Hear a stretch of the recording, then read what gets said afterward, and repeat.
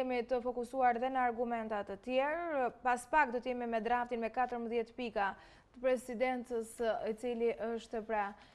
një draft mjaft i rëndësishëm, sepse sigurisht që ka trazuar disi pra edhe politikën, sepse ka tentuar të paktën sikurse ne kemi lexuar gjithë këtë propozim të zotit Meta që t'i heqë kompetencat Kuvendit dhe ai propozon një këshill politik për çdo ndryshim që mund të bëhet dhe do të bëhet, do duhet të bëhet në reformën në drejtësi. Gjithsesi, pra, kjo bëri që të ketë dhe akuza të forta një ditë më parë, të ambasadores së Shteteve të Bashkuara të Amerikës, Yuri Kim, por gjithashtu edhe të ambasadorëve të Bashkimit Evropian në vendin tonë. Ne sigurisht do të jemi të fokusuar dhe do të marrim disa detaje për sa i përket këtyre pikave, të cilat janë jashtëzakonisht pra të rëndësishme, ndërsa Report TV e zbardhi gjithë draftin që presidenti paraqiti opozitës jashtë parlamentare gjatë takimit të djeshëm, ndodhi paradite, pra, ndërsa ne sot e kemi këtë draft, kjo, pra, vihet re se, është pra Meta që kërkon ngritjen e një këshilli politik që do të vendosë për ndryshimet ligjore e kushtetuese te një prej reformave kryesore në vend, pra reformën në drejtësi. Në fakt, ka një lloj ngjashmërie, sepse edhe në reformën zgjedhore, paçka se funksionon apo s'funksionon, tërhiqen apo jo palët, bëjnë dhe deklaratat e tyre politike, po deri diku i uli, pra, në tryezë. Ndërkohë, i parapriu një lloj formule, siç duket që të njëjtën gjë të kërkojë edhe presidenti dhe të ketë pra një këshill të ngjashëm, sikurse kjo reformë. Tani, se çfarë do të ndodhë, kjo mbetet për t'u parë, por ajo që ne duam të sjellim pikërisht në vëmendje janë se çfarë janë pikërisht këto pika dhe kush janë pikat më të forta. Kam Klesiana Omerin, Klesiana?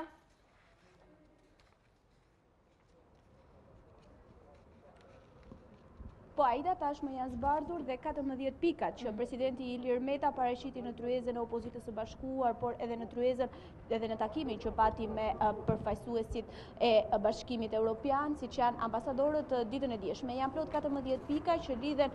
kryesisht me një plan që ka të bëjë me integrimin e Shqipërisë, por edhe me disa çështje të rëndësishme të drejtësisë, siç është edhe reforma e drejtësisë. Një prej pikave në fakt që ka qenë edhe më e diskutuara gjatë ditës së djeshme, por edhe ditën e sotme, është krijimi i një këshilli politik. Presidenti Ilir Meta kërkon që me anë të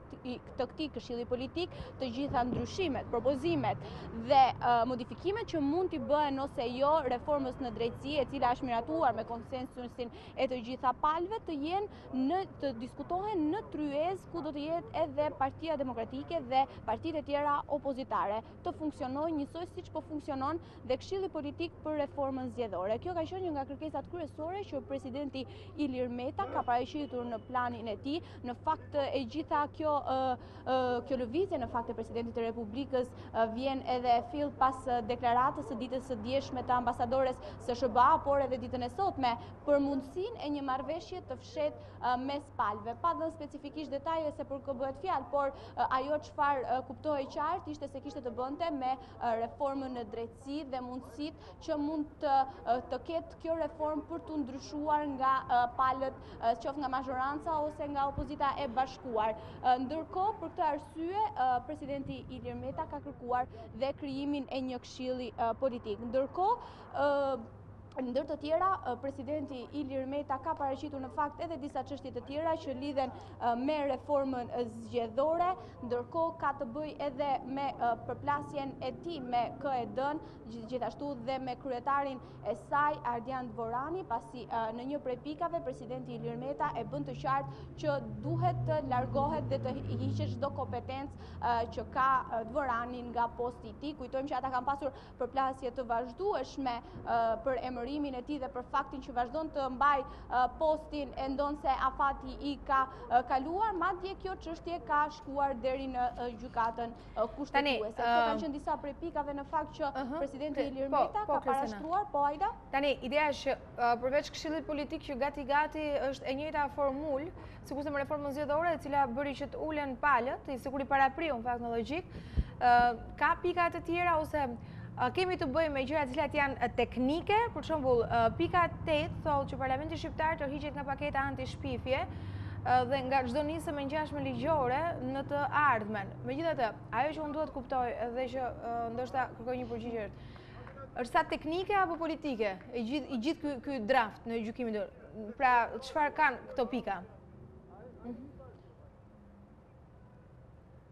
Në fakt, Aida duke pasur parasysh çështjet që ka parashtruar presidenti në këto pika, mund të themi që janë më së shumti politike, duke qenë se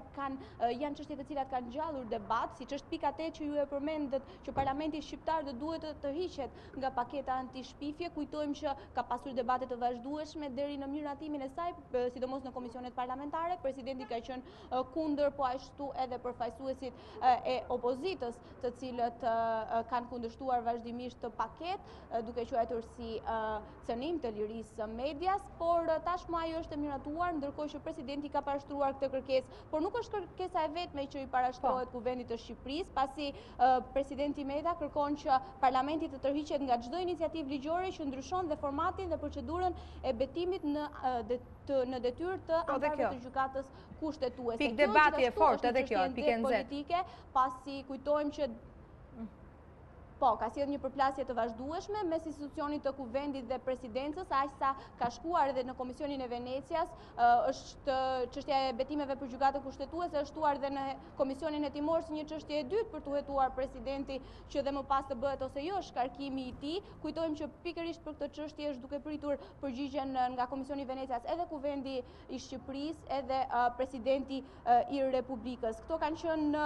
disa prej çështjeve kryesore që më së shumti na lënë të kuptojmë që debati më së shumti është politik. Aida duke pasur parasysh të gjitha çështjet e nxehta të cilat që para pandemisë kanë pasur diskutime të shumta, por që tashmë edhe me lehtësimin e situatës duket se janë rikthyer sërish në fokus duke sjellë edhe një herë përplasjet e forta institucionale. Dhe duket se pika e fortë që ka të bëjë pikërisht me gjyqtarët e gjykatës së lartë ka kaluar le të themi është pika 11 Kristiana. Pra emërohen në përputhje me dispozitat kushtetuese dhe ligjore dhe sa më shpejt të jetë e mundur. E parë nga kjo, nga nga të paktën si pikë duket sikur është shumë e thjeshtë. Por mos harrojmë që